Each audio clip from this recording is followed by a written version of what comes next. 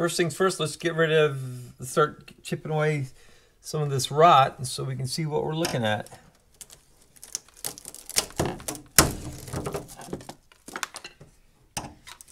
You gotta be careful not to pry off the glass because it'll break.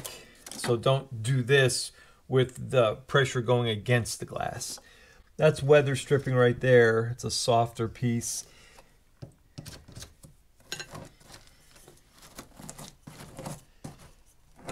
To get the shop vac in here because a lot of this is just rotted away.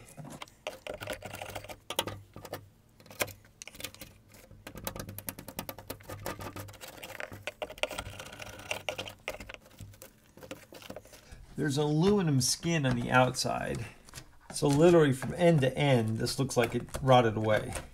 And so we're gonna have to rebuild it from here or fill it. But first what I wanna do is see how much room I have to work with.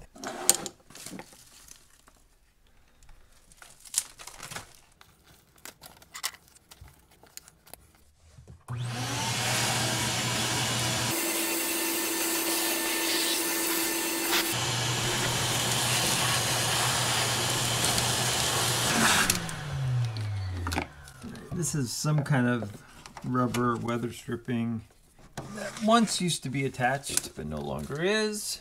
What I've got here is a piece of wood and this is just for measuring purposes but I can almost this is a three quarter inch piece uh, one by one by one by four. I can almost get this under all the way. But what I'm gonna do is from the inside try to build up the wood that's rotted away but having the very bottom layer, like right here, is foam. And that's the foam that they put around the window to seal it tight from, from air. So this all right here in this area should be foam. On top of the foam should be wood. So I need a skinny board that's going to go and sit on top of this foam.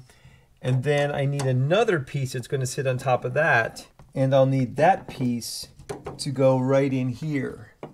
And the best way to do that is uh, using a what I'm going to do is take a bunch of measurements, like pieces of wood like this, only cedar, because cedar doesn't rot. So that's what I want to use to fill this in so it's a little bit more long lasting. And so I'm going to get pieces of wood like this that are cedar, and then do a skinny piece, and then a little bit fatter piece, and then put them in, put them in in reverse order, and then I'll fill the voids especially down below there with foam. So what we're going to do here is use this oscillating saw uh, to trim up some of these corners over here.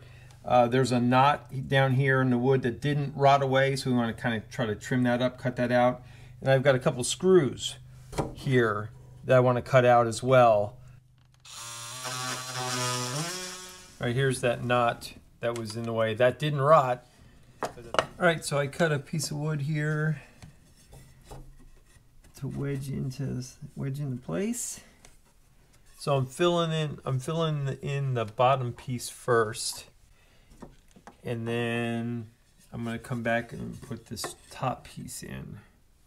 All right, so shave this one down a bit.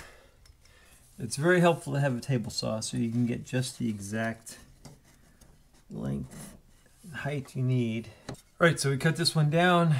This is the top piece.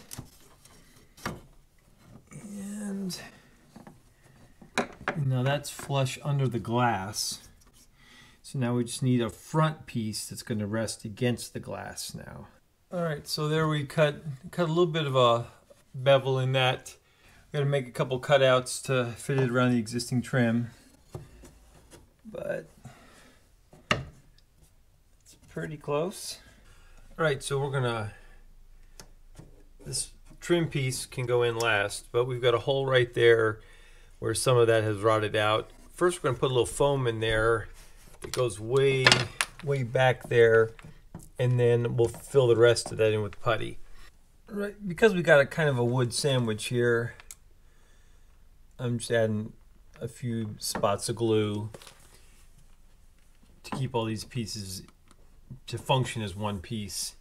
I'm using. Titebond 2 wood glue, it's kind of what I tend to default to. And we'll have links in the description below of all the stuff we're using here today.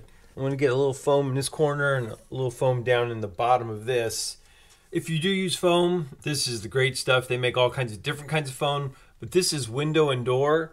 And why that's important is it doesn't expand uh, beyond its limits in there. Uh, there are there is foam that's expanding and will keep on expanding and will uh, break glass, will bow things out. Uh, so it depends on what you're looking for, but this will, won't bow your windows, which is what you want. All right, so you can see some of this some of this uh, foam went and expanded a little bit. Again, it has limits to how much it will expand. So I'm just gonna cut this out. So basically, I want to I want to make sure that I have room for the wood putty. Wood filler we got is Minwax. Uh, there are there's all kinds of options for this. They JB Weld makes some. You can use Bondo, but since we're inside, I want to use this wood filler here. It's interior exterior wood filler. So it comes with the hardener. And so you mix some of this paste with the hardener, uh, following the directions on there, and uh, it'll harden up. And that's what uh, gives it its strength. It smells like Bondo. All right, so you got about 10 minutes to get this wood filler in place as smooth as it can be. And the directions say to overfill your area to allow room for sanding. So that's something to consider. Now for me, I'm using this filler just to fill this gap. So to save yourself a lot of grief, if you're using this in a place that's more visible, you want to make that just really smooth, like you're kind of frosting a cake. And that'll save you a, a lot of hassle when you're sanding. It'll leave you less to sand. Now I'm going to add my last piece of wood that's going to go on top of this. I've already cut this out. I have a little trim spot there. I trim that out, and I already know this fits, so I can just go ahead and pop it in.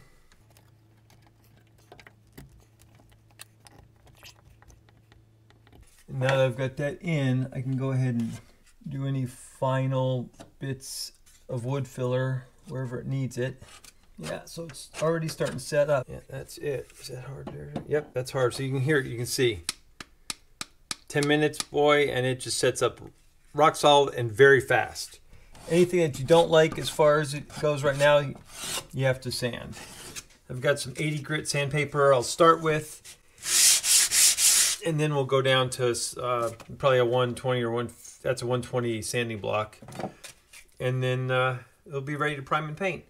Now, one thing about this stuff, it stinks. I had this room closed off, and oh, it smells like a body shop in here. So, uh, opening up a window, I'll, I'll reopen up the window after we get done sanding. But uh, you definitely want to have some fresh air coming in.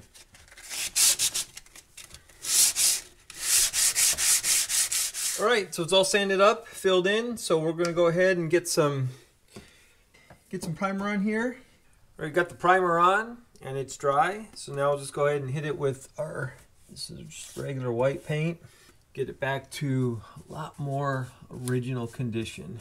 If you got anything out of this, go ahead and give us a, a like. We appreciate it. It helps our videos along. If you got any questions or comments, just leave them in the comment section below and we'll try to get back with you as soon as we can. Thanks a lot for watching and we'll see you in the next video.